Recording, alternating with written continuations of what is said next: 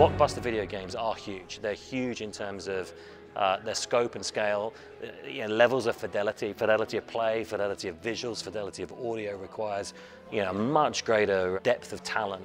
For this game, everything is more, plus we've got a campaign. Everything in Star Wars, every different medium, it has its own voice, it has its own texture and tone and flavor, and we wanted to try and find out what that was for Battlefront. And building all of this with Lucasfilm has been has been really, really good.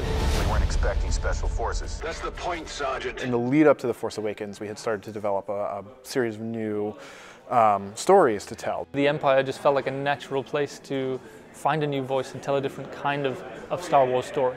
You know, take off the helmet, get inside and meet the people uh, inside the Empire.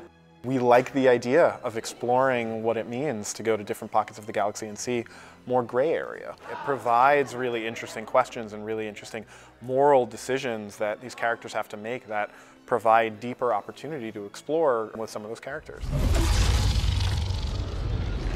One of the big differentiators um, for Battlefront is the, is the idea that, you know, most of the time you'll be playing as a trooper or a pilot, but there are these moments where you get to become one of the iconic heroes of Star Wars. We have a great relationship with EA uh, in general, and you know we're constantly talking to them about the, the future of Star Wars and, and gaming and what that looks like and wanting to tell stories in that space.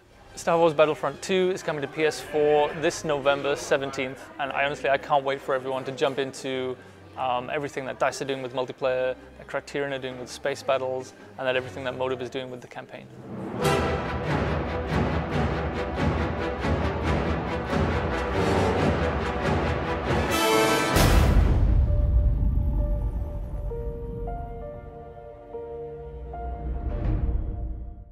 英雄